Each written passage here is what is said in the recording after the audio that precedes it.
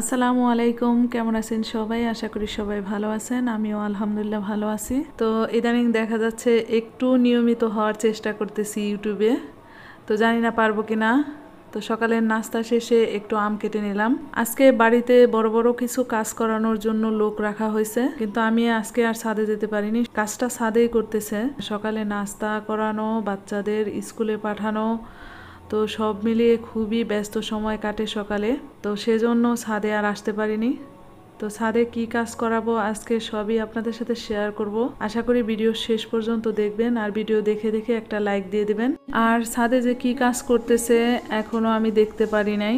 শুধু বলে দিয়েছিলাম যে এই কাজটা করবেন। তো কোন পর্যন্ত আগালো কাজটা আমি দেখিনি। এতক্ষণ স্কুলে যাওয়ার আগে ছেলেই ছিল। ছেলে ওনার সাথে হেল্প করতেছিল কাজে। আর এমন একটা কাজ দিয়েছি, সেখানে দুইজন লোক ছাড়া হবে না। যে কোনো একজন হেল্প করার জন্য থাকতে হবে। তো আজকে আমি এই পানির ট্যাঙ্ক পরিষ্কার করার জন্য বলছিলাম। তো এসে দেখলাম পানির ট্যাঙ্কটা পরিষ্কার করা হয়ে গেছে। তো যখনই উনি পানির ট্যাঙ্কের ভিতরে ছিল, আপনাদের দেখাতে চেয়েছিলাম কীভাবে পরিষ্কার করে। তো এত ব্যস্ততার কারণে দেখাতে পারিনি। তবে আপনাদের দেখাতে পারব পানির ট্যাঙ্কের ভিতর থেকে কত ময়লা বের হয়েছে।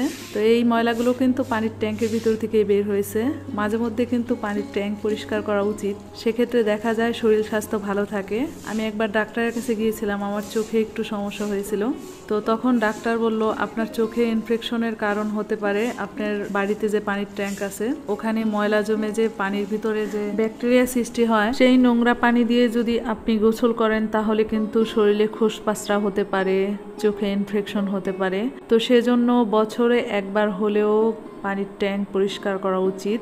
সব সময় কিন্তু পানির ট্যাঙ্কের ভিতরে মানুষ ঢুকে পরিষ্কার করা সম্ভব না। তো বছরে একবার হলেও কষ্ট করে পানির ট্যাঙ্ক পরিষ্কার করা উচিত। আর এই পানির ট্যাঙ্ক পরিষ্কার করার জন্য কিন্তু একদম পাতলা পাতলা লোকের দরকার। মোটা লোক তো ভিতরে ঢুকতে পারবে না। তো সেজন্য পাতলা পাতলা লোক খুঁজে তারপরে পানির ট্যাঙ্কের ভিতরে ঢুকিয়ে পরিষ্কার করতে হবে।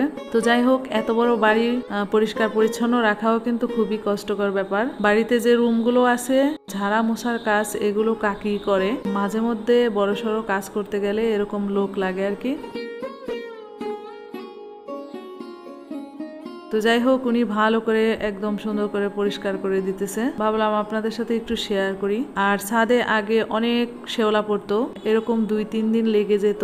শুধু শেওলা পরিষ্কার করতে, করতেই। তো সেজন্যে ভাবলাম ছাদে কালার করে দেই। এই উপরের ছাদটা আমি কালার করেছি, ছয় মাস হয়ে গেছে। তো ওই ভিডিও আপনাদের সাথে শেয়ার করছি। যারা ওই ভিডিওটা দেখেননি, তারা ইচ্ছা করলে দেখে আসতে পারেন।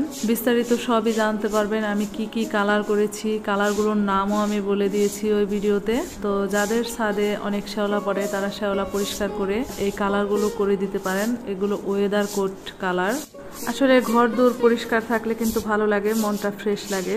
আর ছাদের কালারগুলো দেখতে কেমন লাগছে অবশ্যই কমেন্ট করে জানাবেন। ছাদটা কিন্তু একদম পরিষ্কার হয়ে গেছে।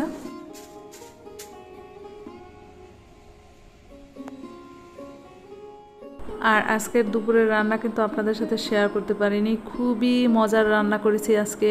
ইলিশ মাছ, বেগুন দিয়ে, আলু দিয়ে, আর এখানে লতি দিয়ে চিংড়ি মাছ, আর সাথে ভেন্ডি বাজি করেছি। তো সামনে ইলিশ মাছ থাকলে আমি অন্য কিছু দিয়ে খেতে পারি না, খুব কষ্ট হয় আর কি। তো যারা আমার পুরানা ভিউয়ার্স তারা তো অবশ্যই জানেন যে আমার ইলিশ মাছ কত প্রিয়। তো কষ্ট করে খেয়ে নিচ্ছি আর কি ভেন্ডি ভাজি দিয়ে। শুধু ইলিশ মাছ খেলে তো হবে না, এখন নিলাম একটু লুতি আর চিংড়ি। এটাও আমার কাছে খুব ভালো লাগে। আর এখন নিলাম আমি ইলিশ মাছ।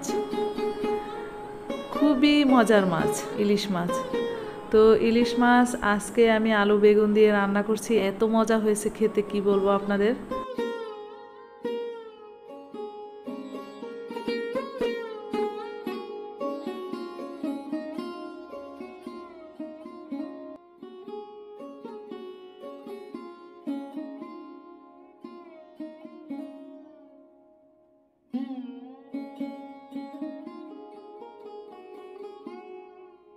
খাওয়া দাওয়া শেষ করে আবার ছাদে চলে আসছি। লোকটার কাজ শেষ, চলে গেছে।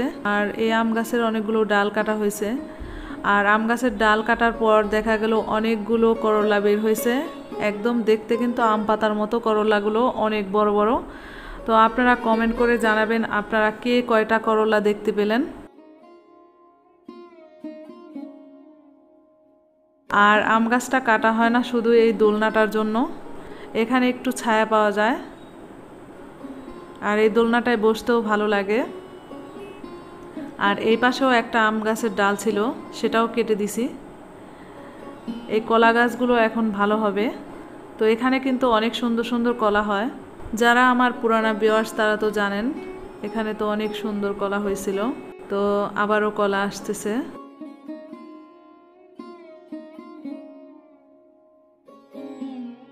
আর আজকে ছাদে পা দিয়ে খুবই ভালো লাগতেছে, একদম ফ্রেশ মনে হচ্ছে, পরিষ্কার। এমনিতেও আমি সব সময় ছাদ পরিষ্কার রাখি। আর আপনাদের কাছে কেমন লাগতেছে এরকম একটা পরিষ্কার গার্ডেন দেখতে পেয়ে? অবশ্যই কমেন্ট করে জানাবেন। আর ভিডিওর এ পর্যন্ত এসেও যারা একটা লাইক দেন নাই, তারা একটা লাইক দিয়ে দিবেন। তো আজকের ভিডিও এ পর্যন্তই। আগামী ভিডিও দেখার আমন্ত্রণ জানিয়ে আজকের মতো বিদায় নিচ্ছি। সে পর্যন্ত ভালো থাকবেন, সুস্থ থাকবেন। আল্লাহ হাফেজ।